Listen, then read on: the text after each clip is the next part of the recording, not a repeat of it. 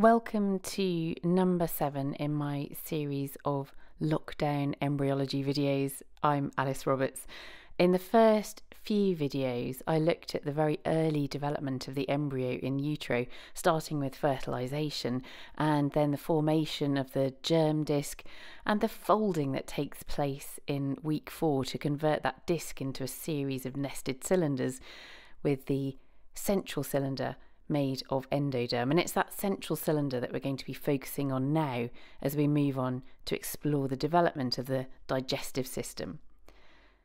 So, this was from the week four video where we looked at how that flat disc bent around at the edges to enclose a tube of endoderm inside the embryo so that by the time you get to this stage, you can see that the blue layer, which starts off flat, the ectoderm, is now wrapping around the outside of the body of the embryo, and that's going to form the epidermis on the outside of the body.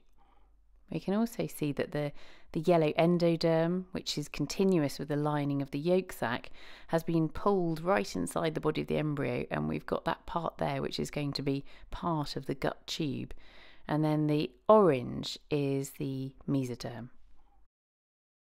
Here's a view of embryonic folding along a sagittal section through this embryo. So we can see how the head and the tail end of the embryo are tucking in. And you can see how the yolk sac is still attached to the gut tube on the inside at that middle portion.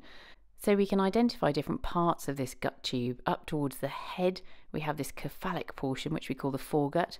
There's the midgut attached to the yolk sac via the yolk sac stalk, and then down towards the tail end is the hindgut.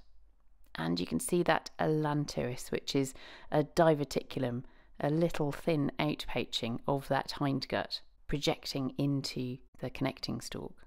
In this view, it looks as though the gut tube is completely embedded in that orange mesoderm. But if we go back to a cross sectional view, you can see that there's this gap, this space that's trapped now inside the embryo. It's called the intraembryonic cavity or coelom, and it's lined by a very thin layer of lateral plate mesoderm, which is going to form down in the abdomen, the peritoneum, and also the mesenteries.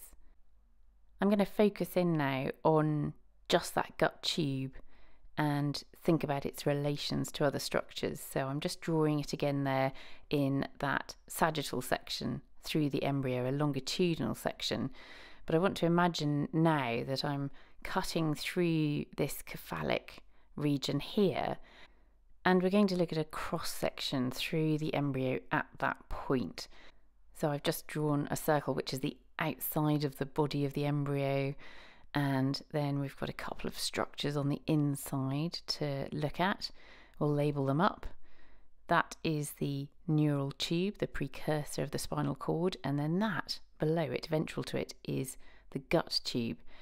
And we've got some lateral plate mesoderm lining the gut tube, that's the splanchnic layer of lateral plate mesoderm, and also lateral plate mesoderm around the inside of the body wall. So that's the parietal or somatic layer of lateral plate mesoderm. Now, eventually, the mesoderm dorsal to the gut tube, that thick bit there, is going to thin right down until you have this very thin double membrane attaching the gut to the body wall dorsal to it. The entry bit of mesentery means intestine, so mesentery is kind of mediating, connecting to the intestines.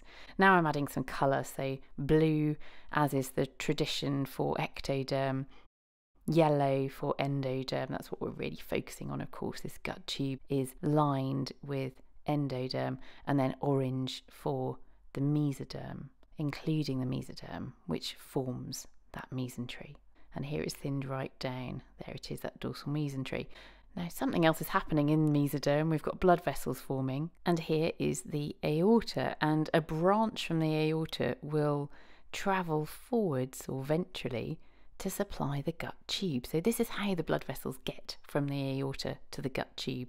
They travel through that mediating mesentery.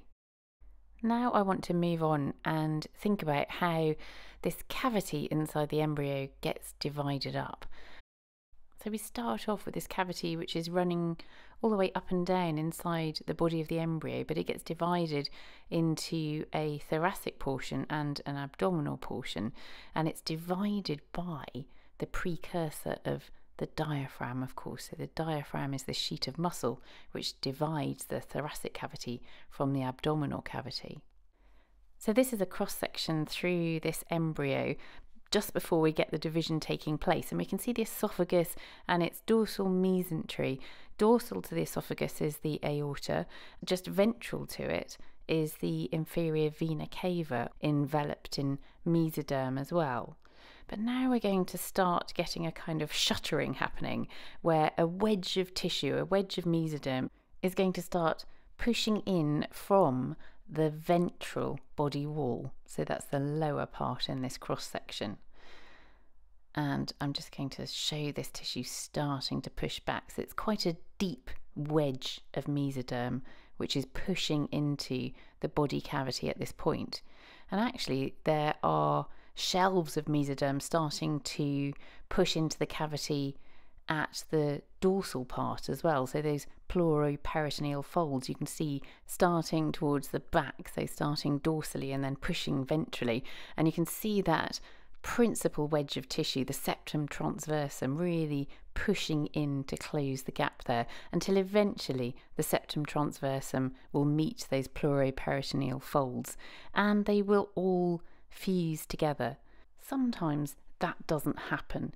And if we have a failure of some of those shells of tissue to grow and fuse, then you can end up with gaps in the diaphragm and a congenital diaphragmatic hernia. And you can imagine with guts pushing up into the thoracic cavity that the lungs are going to be compromised. So, this is a congenital defect which can be dealt with surgically.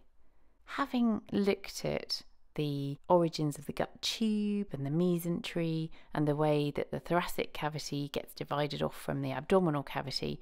In the next video, we can start to look at how that gut tube starts to elongate, but also how it starts to bud to form lots of different organs. So that will be in the next lockdown embryology.